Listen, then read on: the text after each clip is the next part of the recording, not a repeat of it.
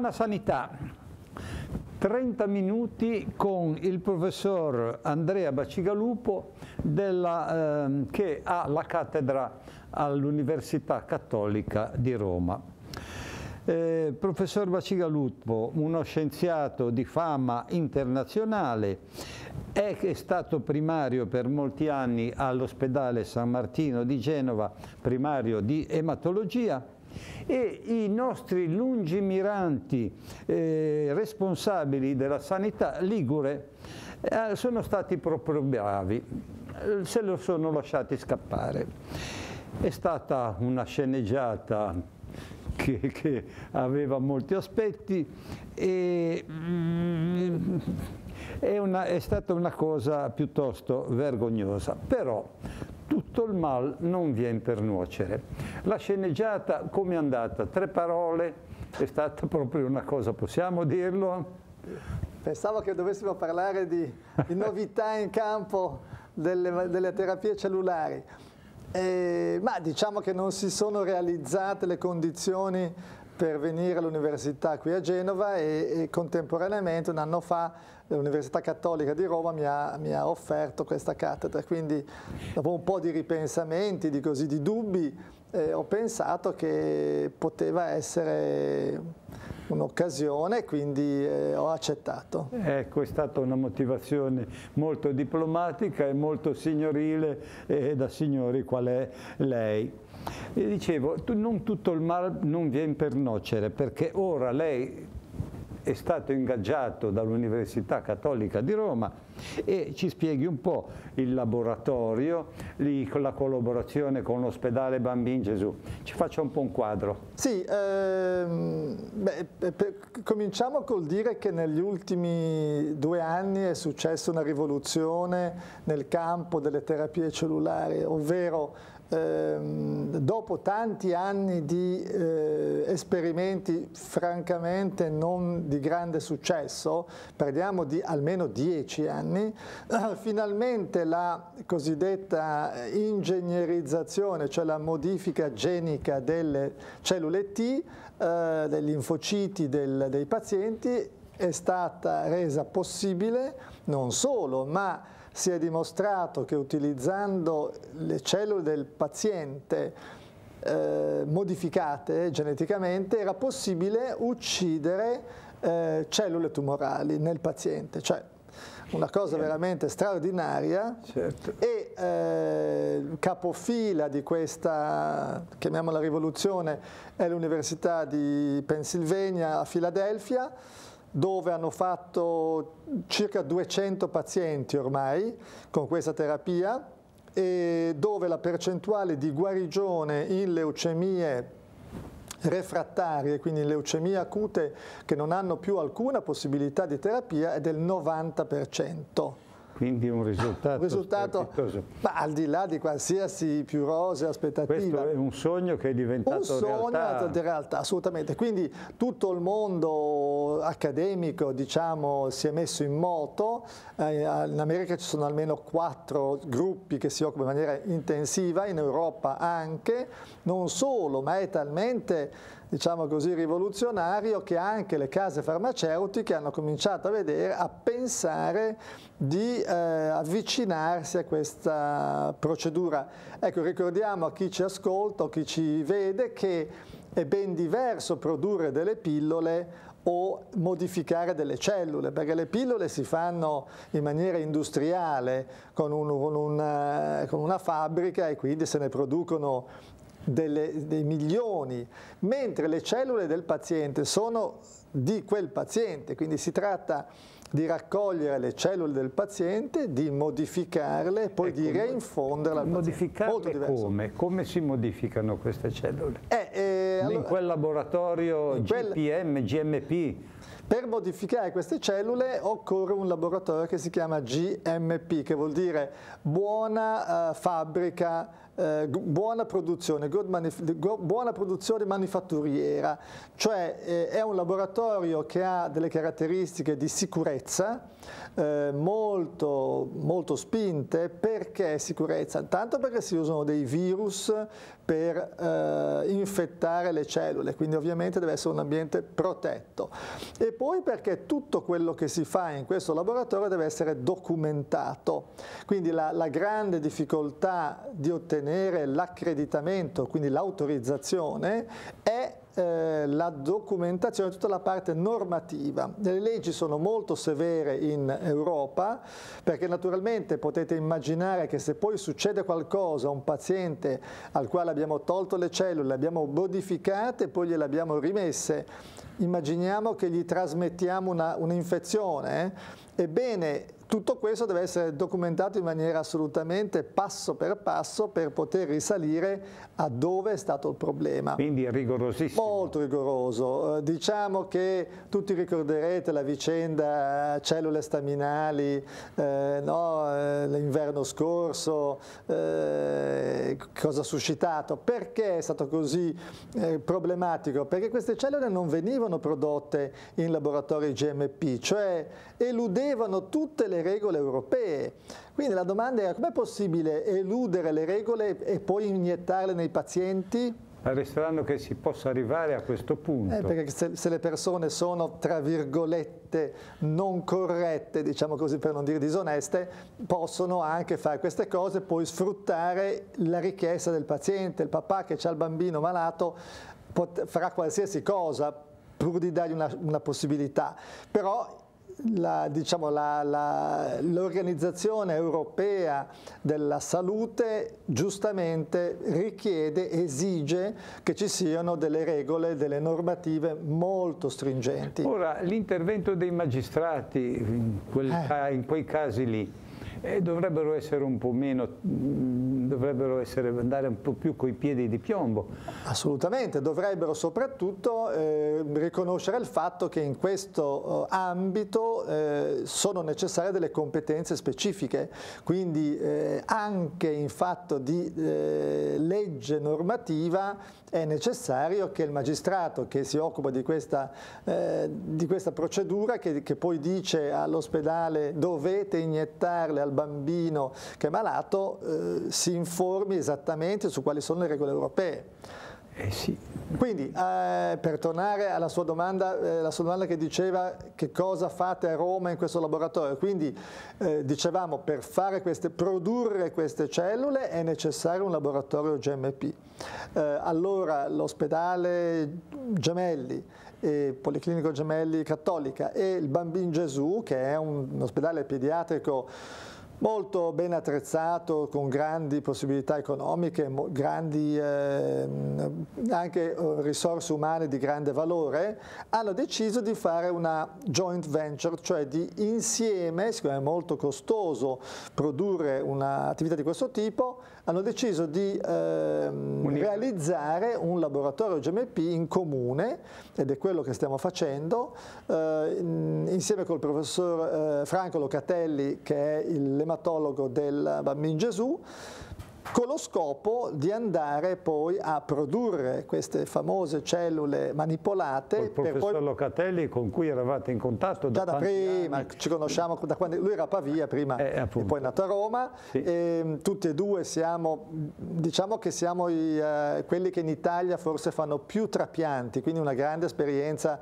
di trapianti in pazienti ematologici, quindi è sembrato corretto realizzare questo laboratorio dove ci sono molte persone persone già adesso che lavorano tempo pieno, eh, andiamo all'accreditamento dell'Agenzia Italiana del Farmaco probabilmente anche entro la fine dell'anno e speriamo l'anno prossimo di cominciare a produrre queste cellule manipolate. Ecco, queste cellule ce ne sono di due tipi mi pare di aver sentito. Ce ne sono di molti tipi, tipi. Eh, sia come metodo di manipolazione, lei prima diceva come si manipolano, ci sono varie metodiche per eh, inserire questi, un gene che noi vogliamo inserire dentro nella, eh, nella cellula veicolato da un virus e ci sono diversi tipi di virus che possono fare questo. Eh, ci sono anche diversi tipi di cellule che noi possiamo usare come bersaglio per la manipolazione e naturalmente poi potete immaginare che se queste cellule noi le manipoliamo per riconoscere un tumore, abbiamo detto che nel caso della leucemia acuta linfoblastica questo è il risultato di grande successo, potete immaginare che possiamo provare a manipolarle per tanti altri tipi di leucemie e non solo, ma anche per eh, delle malattie non ematologiche. Quindi, quindi una nuova strada. Quindi si pensa una... ai tumori solidi anche. Eh, ecco, eh, quindi mh, mm, va bene, ora è prematuro, non, ma arriverà anche l'applicazione su questo. Assolutamente, cioè l'applicazione sul, sul e paziente... voi potete volevo... sempre fare, eh, voi siete specialisti in ematologia, ma vi potete nello stesso tempo occupare dei tumori solidi? Beh, per esempio, eh, sempre nell'ambito di questa collaborazione fra il Gemelli e il Bambino Gesù, eh, c'è un, un, ricercatore eh, che recentemente si è aggregato, è stato chiamato dall'Università Cattolica, si chiama Ruggero De Maria, eh, è una personalità scientifica di grande spicco, si occupa di cellule staminali tumorali, quindi il suo campo di eh, specializzazione in particolare il tumore del colon, dell'ovaio e del polmone. Cioè le eh, staminali tumorali sono quelle che producono il sì, tumore? il tumore, quindi lui produce la sua specialità è eh, la, avere degli anticorpi che riconoscono le cellule staminali, non il tumore, le cellule progenitrici del tumore, dicevo colon, ovaio e polmone. Quindi se uno ha diciamo, eh, questo anticorpo, se uno riesce a inserire in una cellula questa specificità, ecco che la cellula diventa specifica per la, la cellula staminale del tumore, può ucciderla. Quindi, Quindi uno scenario meraviglioso ah, questo. Insomma, certamente. Si apriranno delle, delle strade impensate. Assolutamente, diciamo che uno dice sempre, ma come facciamo a sapere se poi questo funzionerà? Il fatto che le grandi case farmaceutiche, come si dice, i big pharma, quindi la Novartis in particolare, che sono giganti industriali, hanno comprato il brevetto dall'Università di Pennsylvania, già, già dice quale è l'interesse che hanno già visto che naturalmente lì ci può, se veramente funzionasse nei tumori, quindi ci sarà una svolta epocale. In... Diciamo che eh, in questi ultimi vent'anni abbiamo visto tanti Abbiamo terapia. segnato il passo. Miglioramenti ce ne sono stati grandi, però chi ci ascolta sa che nei tumori solidi eh, se non si fa una diagnosi precoce, quindi la, se la chirurgia non avviene in maniera precoce è ben difficile guarire. Ecco, eh, diciamo che eh, ci stiamo avviando verso una forma di terapia immunologica, quindi di utilizzare i linfociti che sono eh, quelli che controllano la crescita neoplastica nei soggetti sani, utilizzare queste cellule per uccidere cellule tumorali. Questo mi sembra veramente una, un passo... Una cosa um, meravigliosa e l'aspettiamo. E, e per finire il discorso, naturalmente, diciamo l'accademia, l'università, e questo vale sia per l'America che per l'Europa, in qualche modo noi vorremmo cercare di essere non totalmente dipendenti dalle case farmaceutiche perché sennò alla fine si compra e basta.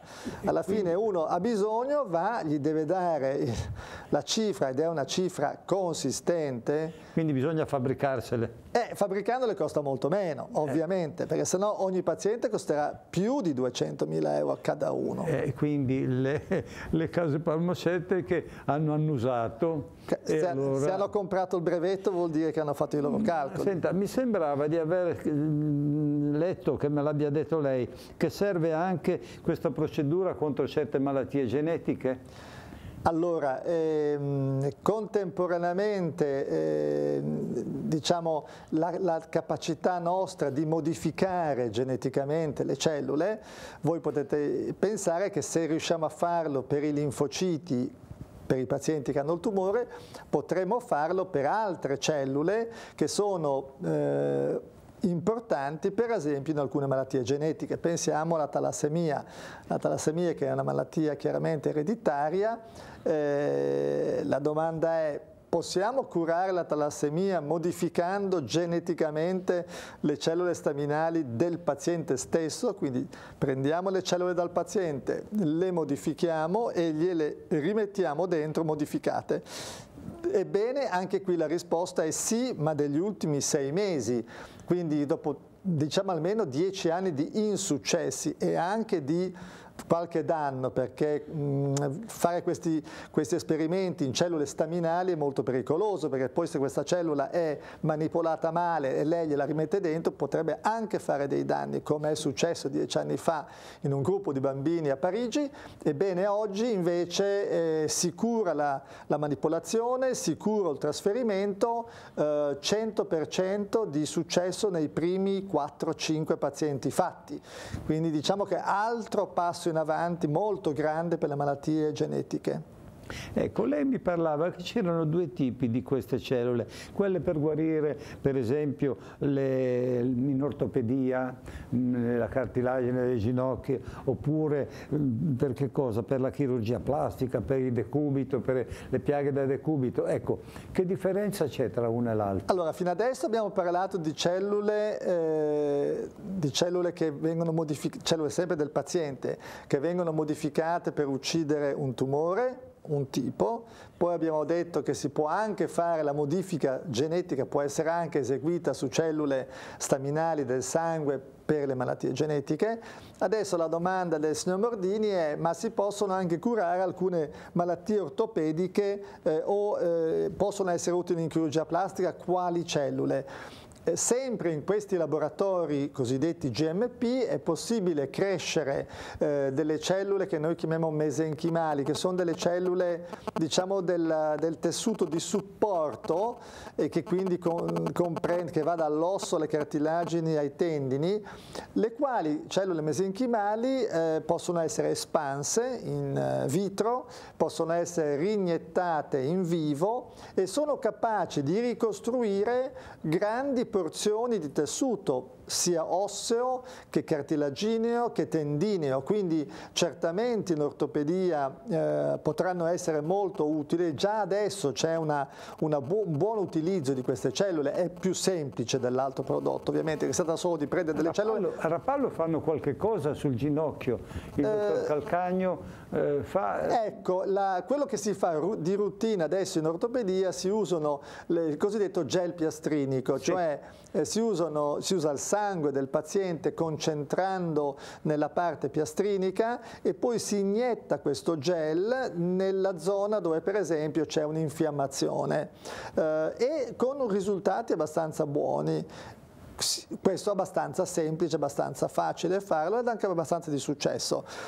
Se lei invece prende delle cellule da un cordone ombelicale, le espande eh, in vitro e poi le inietta eh, in, una, in, una, situazione di fratture, eccetera, è più complicato eh. e richiede una GMP. Quindi richiede molto... Sempre il laboratorio, il laboratorio quello accreditato, accreditato. dall'Agenzia Italiana del Farmaco. Senta, il trapianto di midollo osso sarà abbandonato? No, eh, questa è una domanda in, in molto, Mordini è sempre, sempre attento. Lui dice, ma insomma se io uso le cellule del paziente stesso per curare le leucemie e i tumori, che cosa me ne faccio delle cellule sane di un altro? Eh, allora, ehm, una risposta semplice potrebbe essere sì, se tutto questo funzionasse in maniera eh, rutinaria è possibile che eh, si possa effettivamente ridurre molto il numero dei trapianti. Ehm, eh, questo vale per alcune forme di leucemia. Eh, noi pensiamo che alcune leucemie o alcuni tumori hanno talmente tante alterazioni che non è possibile ucciderle con un tipo solo di cellule, ce ne vogliono molte. Quindi il limite della terapia che abbiamo fino adesso eh, discusso è che uccidono un tipo di, di cellula tumorale, ma oggi sappiamo che i tumori sono composti in realtà di diversi tipi di cellule tumorali, una specie di famiglia ma di cellule. Da, da individuo a individuo? No, no, no, nello stesso individuo, cioè nello stesso individuo individuo ci sono più cloni. Eh, una volta pensavamo che il tumore fosse tutto figlio di un'unica cellula che si era impazzita, si diceva.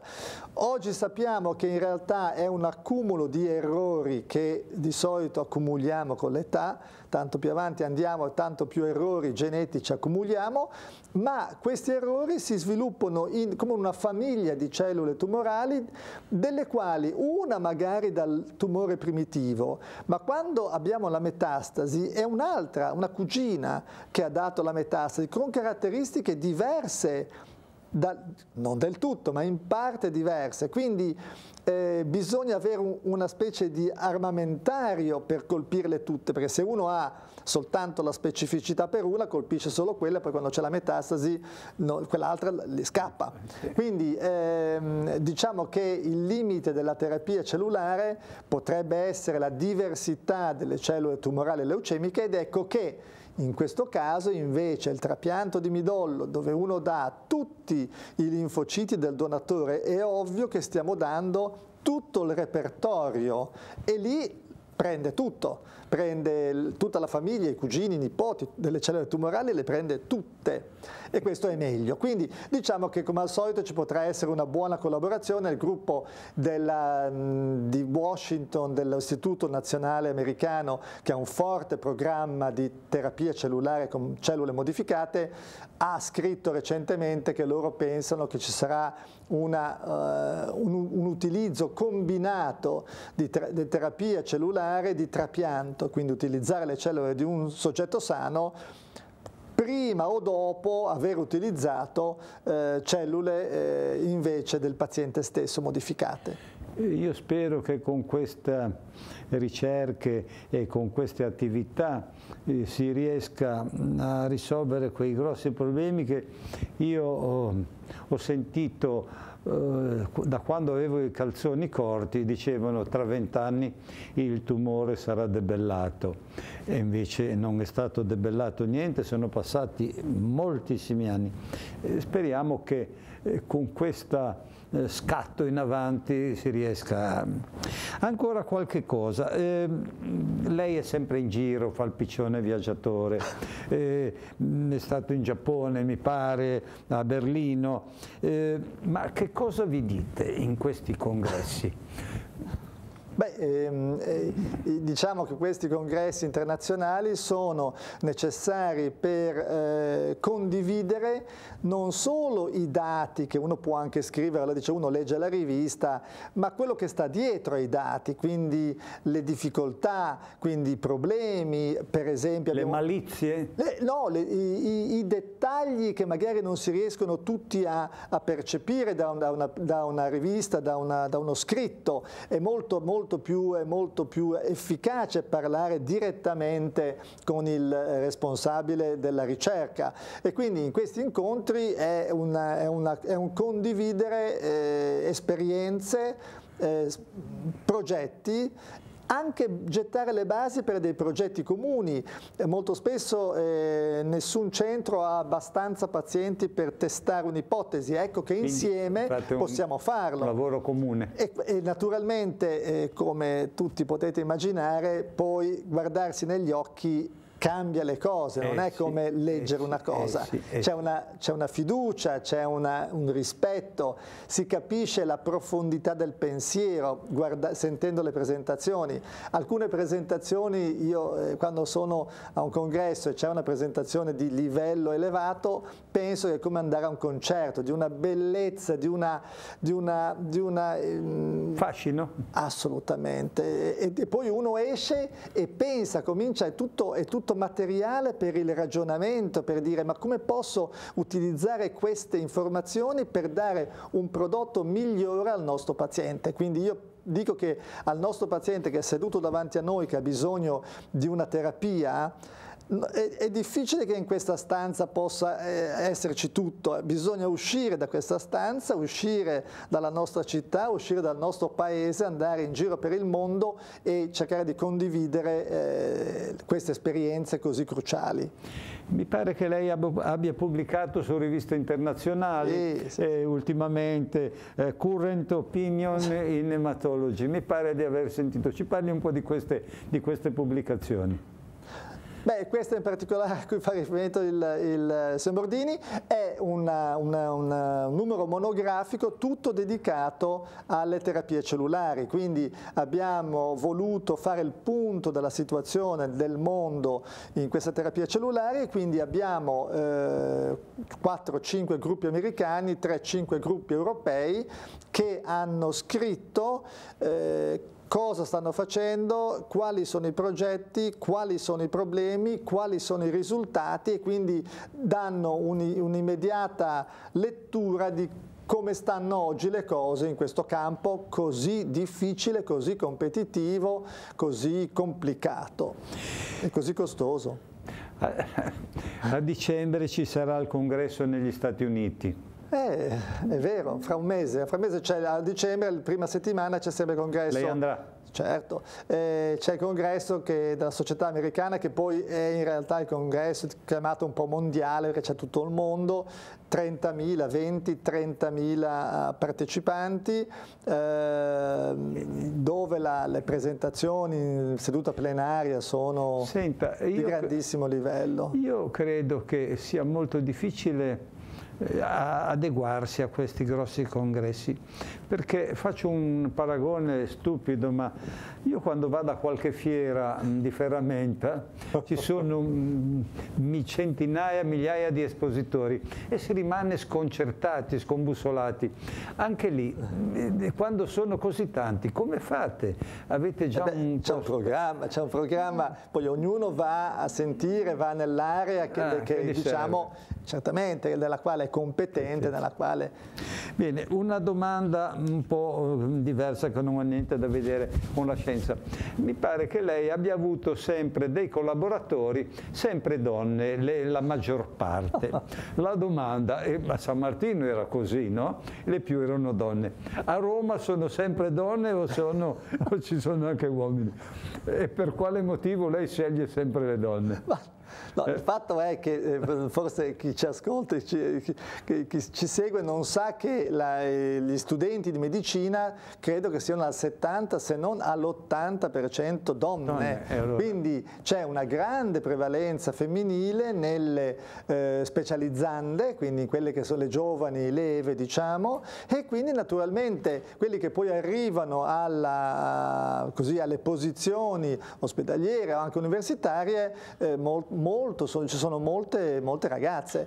Sì. Devo dire che poi le ragazze con cui ho lavorato sono, erano magnifiche, bravissime, quindi un grande piacere i 30 lavorare. minuti sono passati e dottor, professor Bacigalupo io la ringrazio, lei ci ha riempito di gioia e ci ha dato delle speranze e anche tutti i telespettatori io credo che apprezzeranno. Io la ringrazio, ringrazio il nostro regista eh, Alex Appollaro. Sono io che ringrazio lei e noi speriamo di, di concludere questa ricerca su queste cellule e quello che non abbiamo detto è che cerchiamo in tutti i modi di creare creare una collaborazione fra Roma e Genova per poter applicare poi ne queste cellule sia a Roma che a Genova. Ne parleremo nella prossima puntata. Ai telespettatori do appuntamento, eh, arrivederci e grazie, appuntamento alla prossima settimana.